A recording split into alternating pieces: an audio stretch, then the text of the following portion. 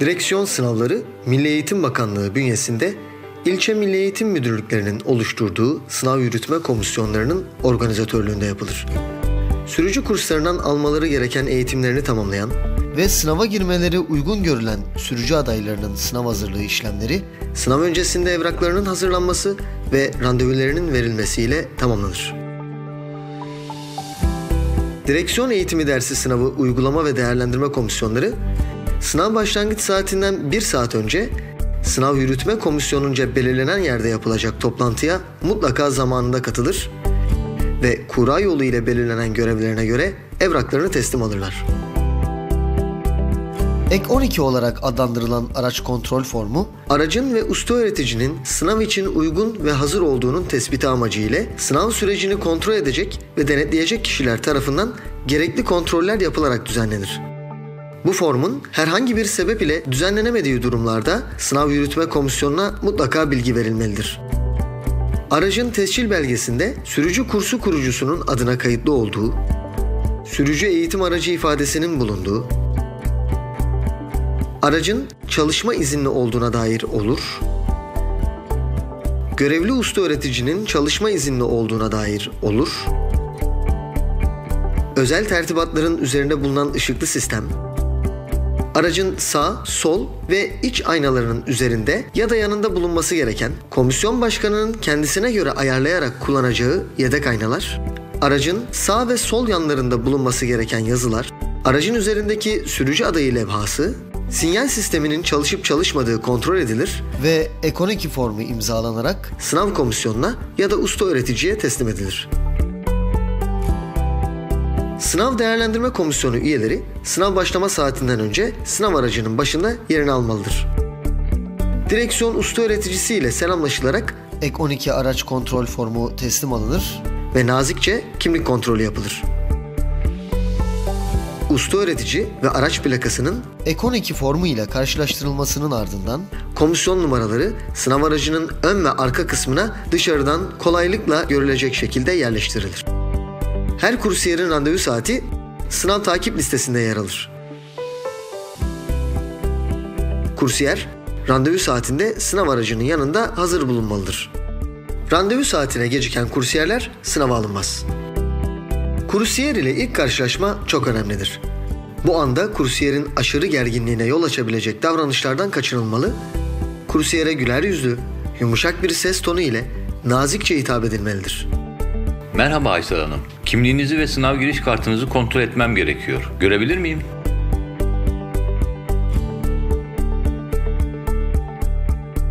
Komisyon başkanı kimlik, sınav giriş kartı ve direksiyon sınavı takip formundaki fotoğraflar ile kursiyeri doğrudan yüzüne bakarak dikkatlice karşılaştırır.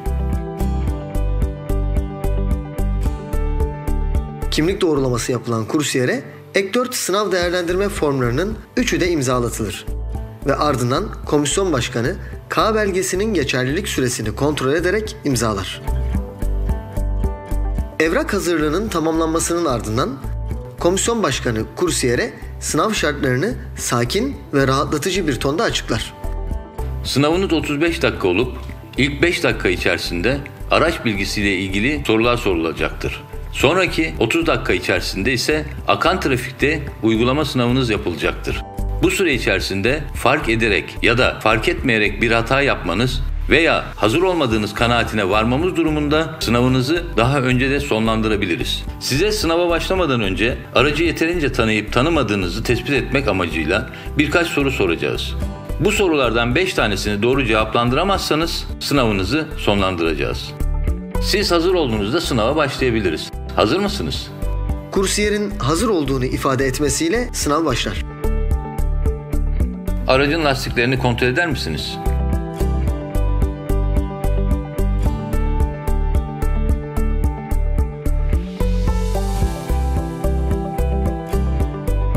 Aracın kaputunu açar mısınız?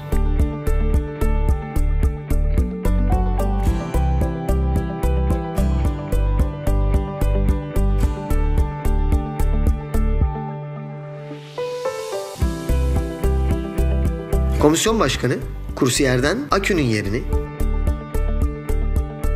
motora yağ konulan yeri, motora su konulan yeri, cam silecek suyunun konulduğu yeri göstermesini ister. Sonrasında bagajı açtırır ve yedek lastiği, kiriko ve bijon anahtarını, reflektörü ve ilk yardım çantasını göstermesini ister. Ardından araca binilir ve kursiyer sürücü koltuğuna, komisyon başkanı ön yolcu koltuğuna, komisyon üyesi arka sağ koltuğa ve usta öğretici ise arka sol koltuğa oturur. İlk 6 kursiyerin sınavının tamamlanmasının ardından komisyon başkan ve üyesi araçta yer değiştirmelidir. Kursiyere yağ ve hararet göstergesinin yeri,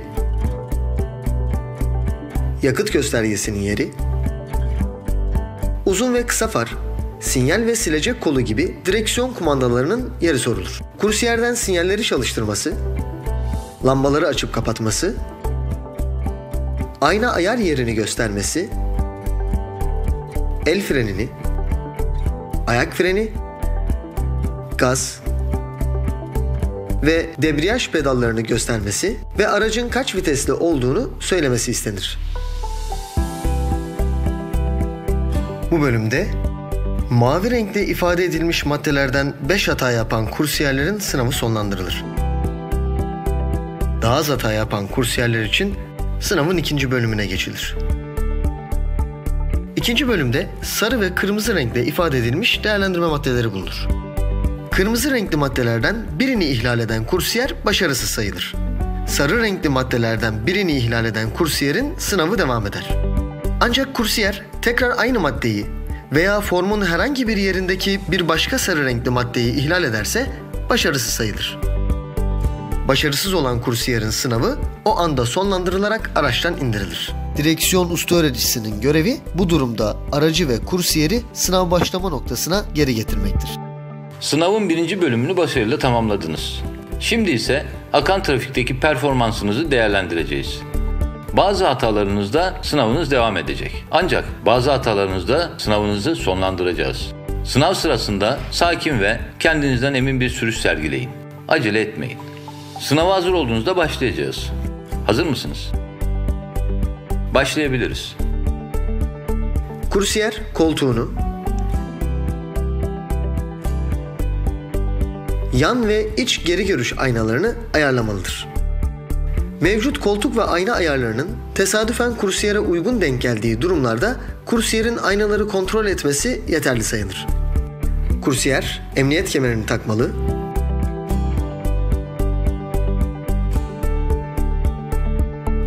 vitesi boşa almalı ve aracı usulüne uygun olarak çalıştırmalıdır. Aracı hareket ettirmeden önce el freni indirilmeli, araç birinci viteste harekete geçirilmelidir. Çıkış yapmadan önce sinyal vermeli, trafik kontrol edilmeli, yoldan geçenlere geçiş kolaylığı sağlayarak trafiği tehlikeye düşürmeden çıkış yapılmalıdır. Çıkışın ardından araç yolun doğru bölümüne konumlandırılmalıdır. Yol boyunca kursiyerin araç kumanda pedallarına intibak etme, trafik levha, işaret ve kurallarına uyma durumu gözlemlenir. Kursiyer aracı sağa sola savurmamalı ve şerit çizgisini takip ederek direksiyon hakimiyetini sağlayabilmelidir. Takip mesafesini koruyarak önünde giden araçlara fazla yaklaşmamalıdır. Yol boyunca durması ve tekrar harekete geçmesi gereken durumlarda aracı sarsmadan ve stop ettirmeden emniyetli ve rahat kalkış yapabilmelidir. Kesikli ve düz çizgili yol bölümlerinde şeritlerin anlamlarına uygun hareket etmelidir. Şerit değiştirmeden önce mutlaka sinyal vermeli ve ayna ile yan ve arka trafiği kontrol ederek şerit değiştirmelidir. Sağa ve sola dönüşlerden önce mutlaka sinyal vermeli, aynalarını kontrol etmeli, omuz üstü bakış ile kör nokta kontrolü yapmalı ve döneceği yönün uygun şeridine zamanında girmelidir. Kavşaklara yaklaşırken yavaşlamalı, kavşağa girmeden önce döneceği yöne sinyal vermeli, aynalarını kontrol etmeli, karşıdan ve yandan gelen araçları kontrol etmeli, doğru şeridi takip ederek ilerlemelidir.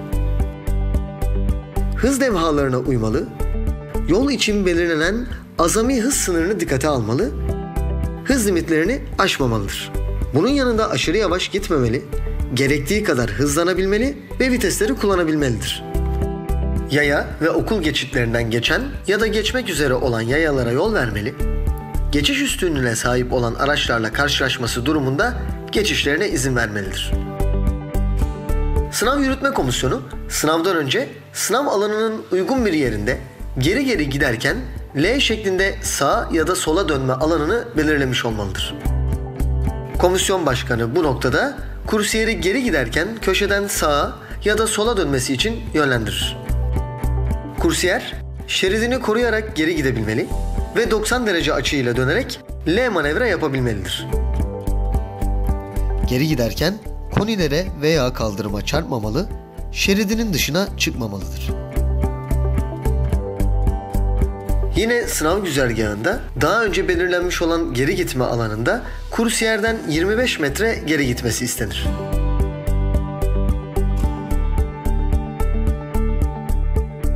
Kursiyer aracı şerit çizgileri içerisinde gezdirmemeli,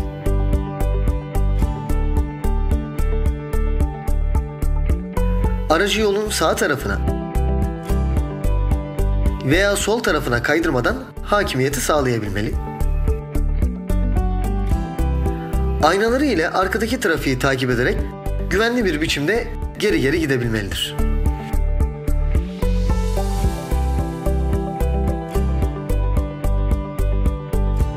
Sınav Yürütme Komisyonu sınavdan önce sınav alanının uygun bir yerinde 200-300 metre uzunluğunda ani fren yapma alanı belirlemiş olmalıdır. Komisyon başkanı bu alanda saatte 30 km hızla gidilirken alanın sonuna doğru mümkün mertebe ilerledikten ve arkadaki trafiği de kontrol ettikten sonra kursiyere ani fren yapması için komut verir. Kursiyer ani fren yaparak aracı stop etmeden durabilmeli, durduktan sonra da sinyal vererek tekrar harekete geçebilmelidir. Sınav güzergahında daha önceden eğimli yolda kalkış için uygun bir alan belirlenir. Komisyon başkanı kursiyerden yoğunluk oluşmaması açısından alanın sonunda bulunan koniye mümkün mertebe yaklaşarak durmasını ister. Kursiyer sağ şeritte aracı durdururken sinyal vermiş olmalıdır. 30 saniye bekledikten sonra harekete geçerken aracı stop etmemeli ve 50 santimetreden daha fazla geri kaydırmamalıdır.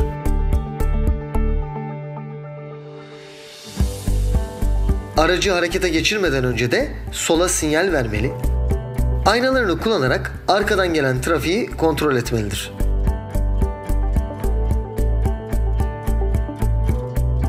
Sınav güzergahında park uygulaması için önceden hazırlanmış özel bir alan bulunmalıdır. Kursiyerin başarılı olabilmek için aracını bu alanda park edebilmesi gerekir. Park alanı en az 100 cm yüksekliğinde 4 adet koni ile boyu aracın 1,5 katı uzunluğunda ve eni araç genişliğinden 50 cm daha geniş olacak şekilde hazırlanmış olmalıdır. Park alanı değişik araçlarda, özellikle hatchback ve sedan araçlarda farklılık gösterir. Bu nedenle komisyon başkanı kursiyeri sınav yapılan araca uygun olan park yerine yönlendirmelidir. Park etmek için durulduğunda direksiyon usta öğreticisi ve komisyon üyesi araçtan iner ve komisyon üyesi park işlemini aracın dışından hiçbir müdahalede bulunmadan gözlemleyerek komisyon başkanına yardımcı olur. Kursiyer park yerine geri giderek tek hamlede girebilmeli, İçeride en fazla iki hamle yaparak aracı kaldırımdan en çok 50 cm uzağa park edebilmelidir.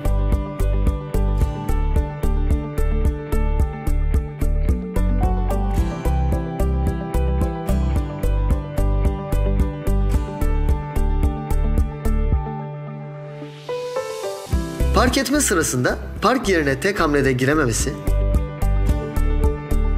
aracın konilere ya da kaldırıma çarpması kursiyerin başarısız olmasına sebep olur. Park işlemi sonunda tekerleklerden biri kaldırıma diğerinden daha yakın olabilir.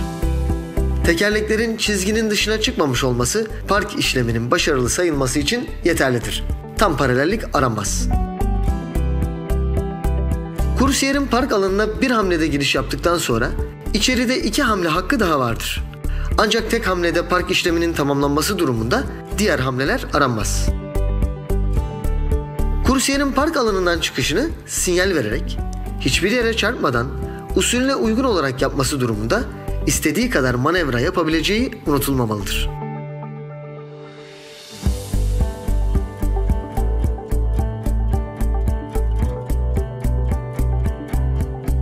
Sınav başlama noktasında tamamlanır. Sınavı tamamlanan kursiyer durmadan önce sağa sinyal vermeli. Sağ şeritte kaldırıma uygun mesafe yaklaşarak durmalıdır. Aracı terk etmeden önce el frenini çekmeli ve motoru stop etmelidir.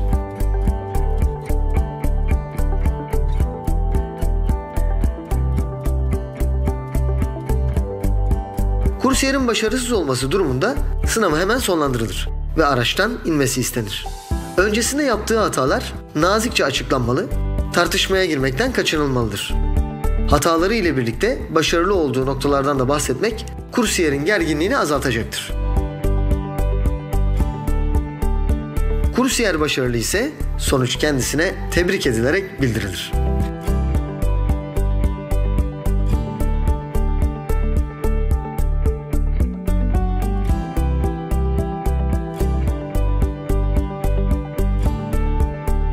Sınav bitiminde ek 4 değerlendirme formları, sınav takip ve sonuç listesi, ek 12 araç kontrol formu, komisyon tanıtım kartları, komisyon numaralarını gösterir levhalar ve varsa tutulan tutanak ve raporlar sınav yürütme komisyonuna teslim edilir.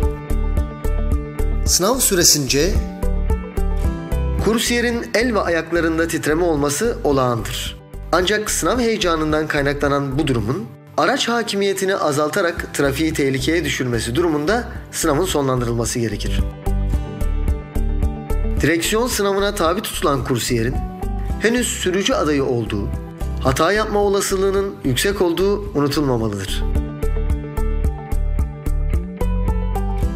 Olası trafik kazalarının engellenebilmesi için komisyon başkanının kursiyere etki etmeyecek şekilde tetikte olması, yardımcı pedallara gereksiz yere basmamakla birlikte gerektiği anda da kazayı engelleyecek müdahalede bulunabilmesi gerekir.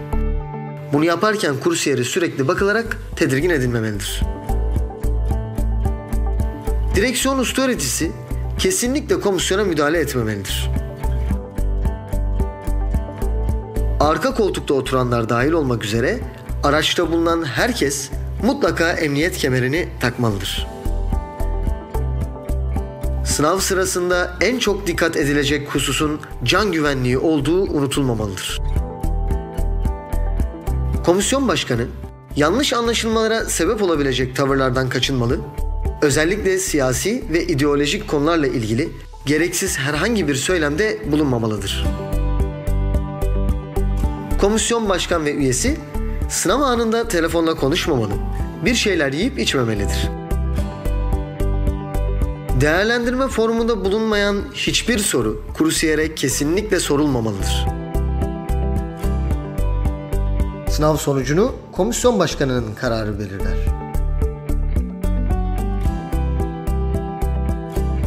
Hiç kimsenin etkisi altında kalmadan adil bir değerlendirme yapılmalıdır.